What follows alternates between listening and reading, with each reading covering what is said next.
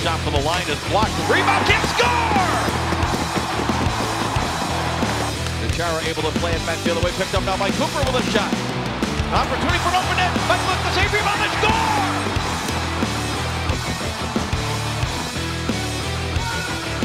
Now finally, Bull to stay outside. That didn't miss by much, and the rebound does go in.